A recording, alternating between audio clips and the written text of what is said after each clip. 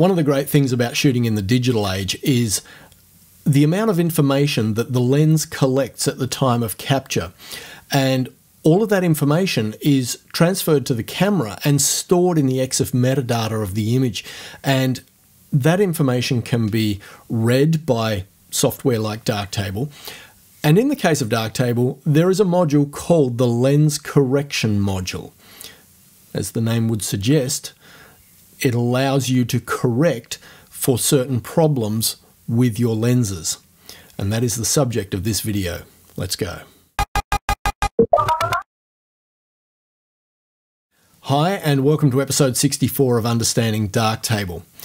So, the lens correction module, like I said, as the name would suggest, it corrects for certain deficiencies of your lens.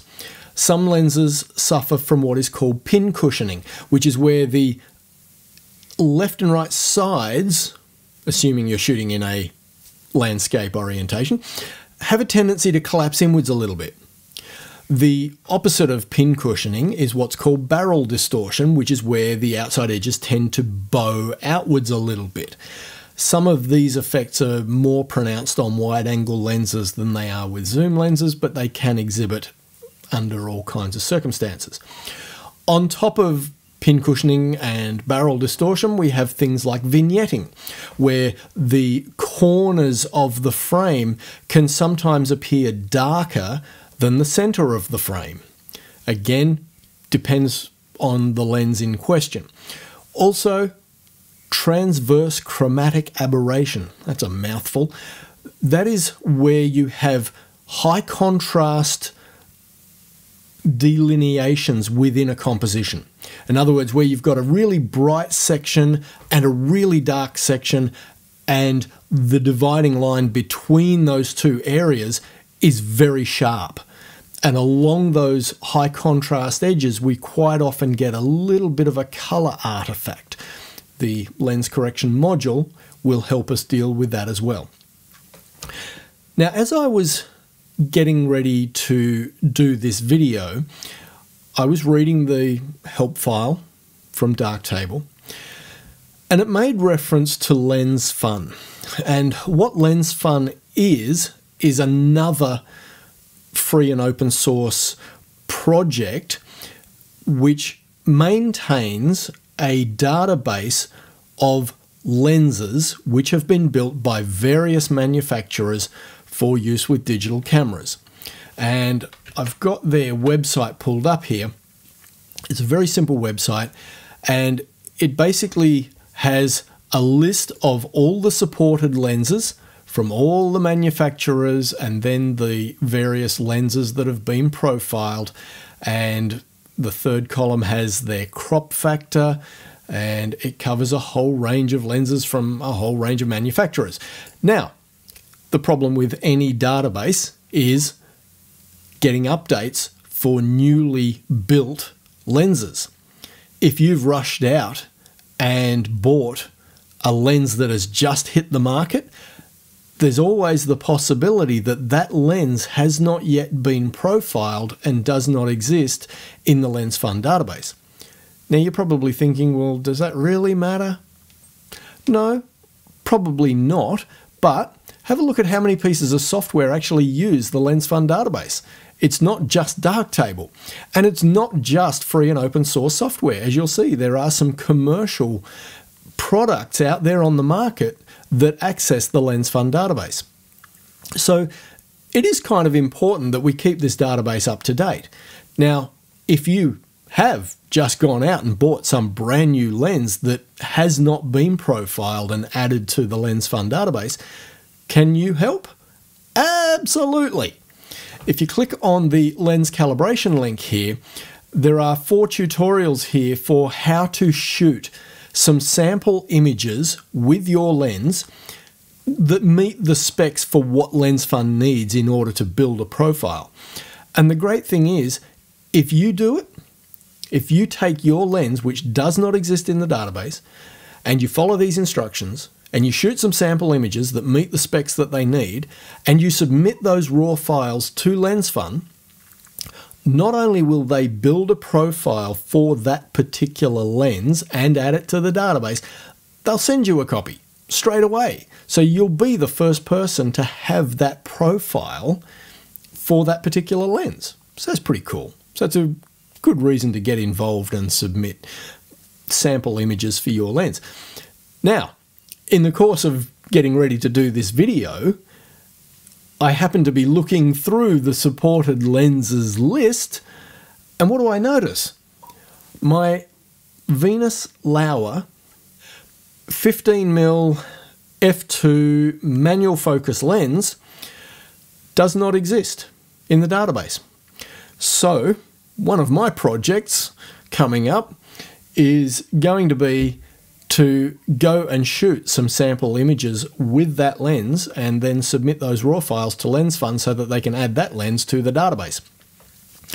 Now, obviously, there's going to be a little bit of a lag time between when you submit your images, when LensFun gets to build a profile, add that to the database, and then for all of those pieces of software which use the LensFun database to update to include the newly added lenses.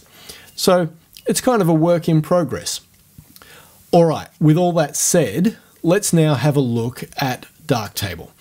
Now, again, as I was getting ready to shoot this video, I was thinking, what image can I use that will display problems that the lens correction module might be able to work with? And I was immediately reminded of the image, which was the whole subject matter of video number 18 in this series, which was the kids on the beach in Vanuatu. So I went and dug that out, and in its original state, oh, there's a couple of minor things been done there, but nothing major.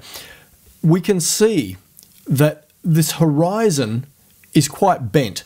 It sort of peaks in the middle drops off towards the outer edges, but then right at the edges it kind of turns up again. So it's definitely not straight. And if we look at the image information, we can see that this was shot with a Minolta AF DT 18 to 50, uh, sorry, 18 to 70 f3.5 to 5.6 lens, and this was a lens that was built for APS-C sensors. It was not designed for 35mm. It was shot at f3.5, 200th of a second at 18 mil, and the focal distance is not reported. Now, we can simply look at the lens correction module, which is not turned on yet. We can see that it has correctly identified that the camera was a Dynax 7D and it's picked up that particular lens, the 18 to 70. And if we switch this on, wow, straight away that horizon has become straight. It's it's not level because my camera was obviously not perfectly aligned to parallel with the horizon, but at least now the horizon is straight instead of doing this weird wavy thing that it was doing before. You may have also noticed that there was a little bit of vignette correction applied. The darker edges have lightened up. Again, that is all part of the information contained within the profile for that particular lens. Now, once you have chosen a profile for a lens, we will see that the focal length is read here. And because this was a zoom lens, we have all of these focal lengths reported. If this was a prime lens, all we would see here would be zero and whatever is the focal length of that particular lens. We can see that the aperture was 3.5, which we saw from the image information panel as well. And the distance is reported as 1000. Now, I suspect that if your camera and lens are able to determine the focal distance at the time of capture, that information would be included in the EXIF metadata. It would appear here in the image information panel. And if that was the case, the lens correction module would also then report that information in this drop down list of values. Now, unfortunately, the Darktable manual does not explain what unit of measurement these values represent.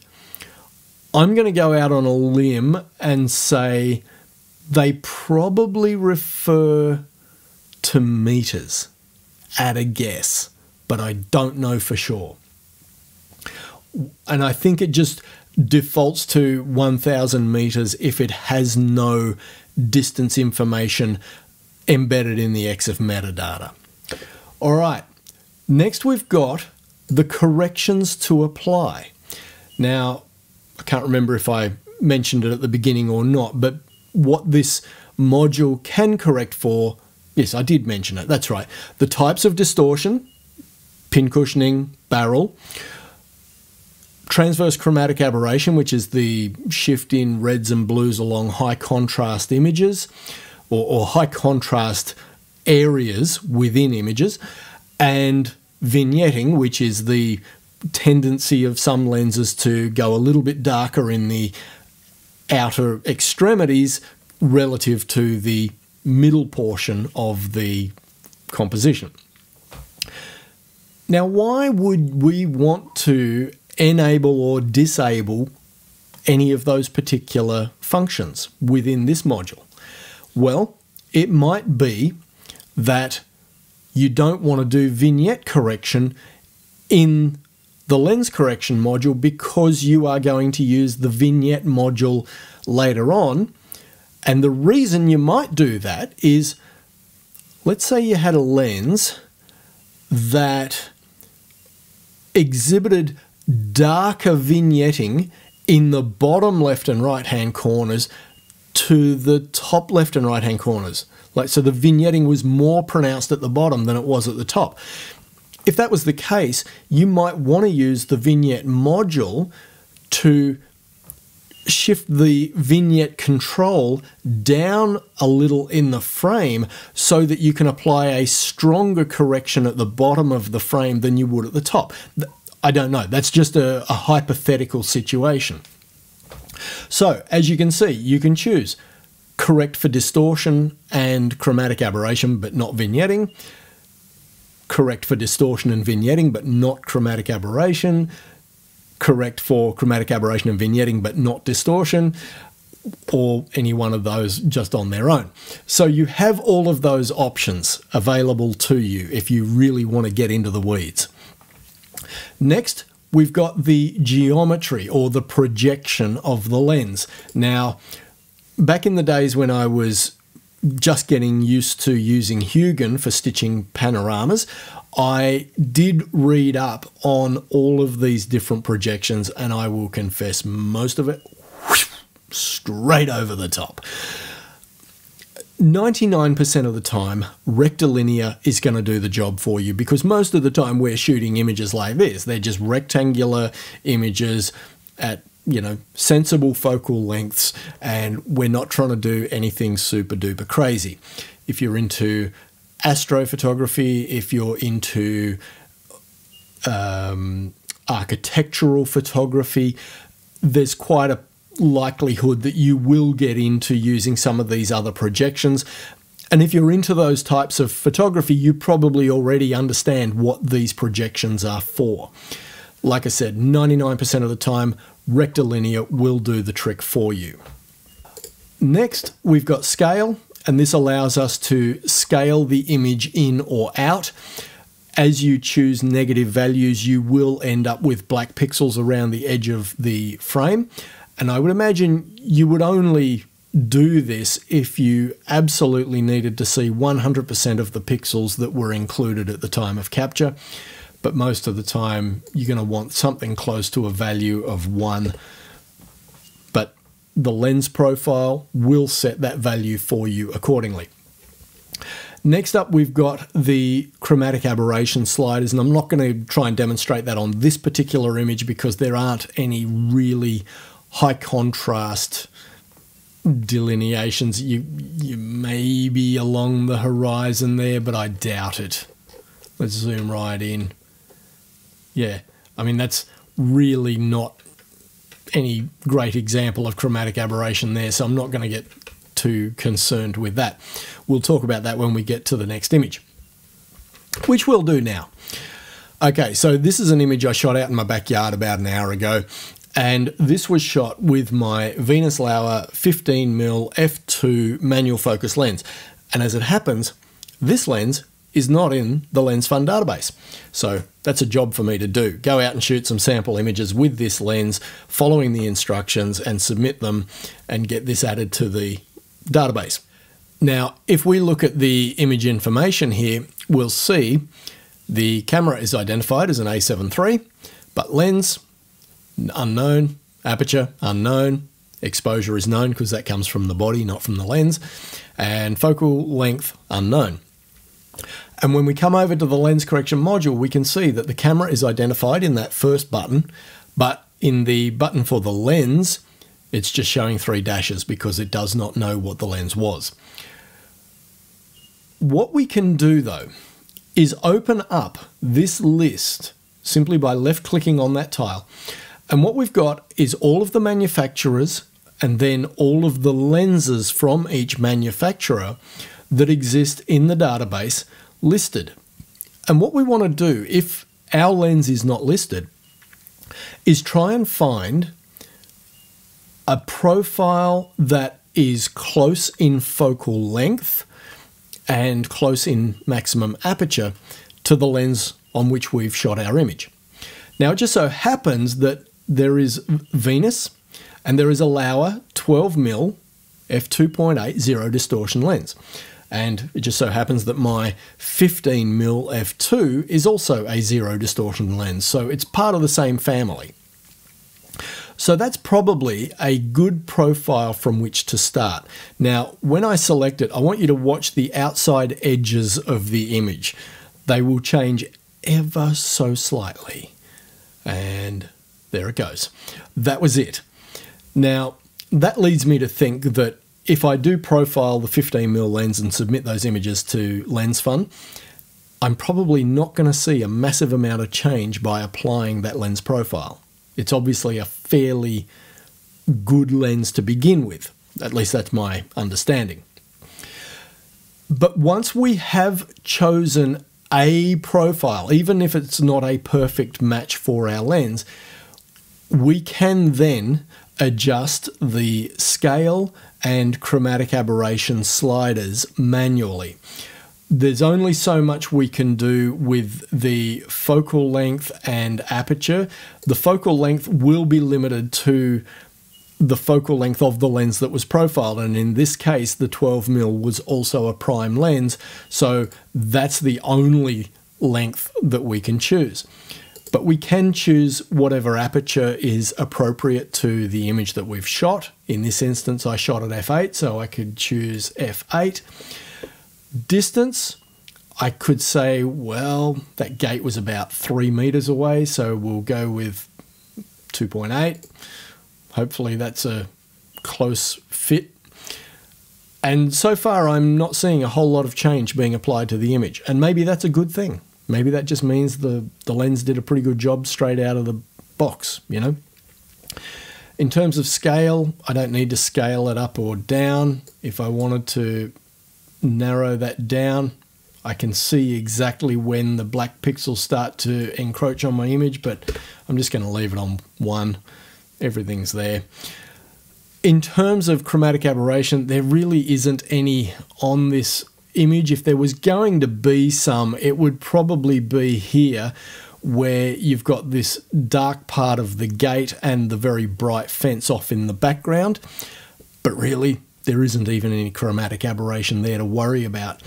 But just to demonstrate, if there was a shift, it might appear like this where your greens and magentas are offset or your blues and yellows are offset. And if that was the case, you would use these sliders to try and minimize any evidence of that color shift along high contrast edges. Like I said, this image doesn't suffer from it, so I really can't do much more to demonstrate that, but hopefully you get the idea. All right, people, that is pretty much it for the lens correction module. There's really not much else I can tell you. Do you need to use it? I don't think so. I think it really comes down to how anal you are about the way your lens represents the world. And if you feel, and I, and I guess this would come down to some of those really cheap lenses that, you know, I'm not going to mention countries or brands, but you know what I'm talking about. There are some lenses out there that are very low budget that are probably not using high quality manufacturing for their glass elements. Some of them might not even be using glass for the elements. You get the idea. If you're using one of those cheap lenses, then you may find that some of these problems are more pronounced, and so the lens correction module might be pretty much an essential module for your workflow. Your mileage may vary. All right, I will leave it there. Once again, Patreon people, thank you for your support. You know I love you. That's great. Uh, if anyone wants to support the work that I do, you'll find a link down below to the Patreon stuff. Uh, if there's any questions, comments, or feedback regarding this particular module, please sing out in the comments down below. If you have a better understanding of the geometry or the projections of lenses and you want to point us to some more information on that, go right ahead. Uh, I'm sure people would love to read up more. It'll uh, cure your insomnia if nothing else. All right, people, I will leave it there. Thanks for watching, and I'll see you in the next one.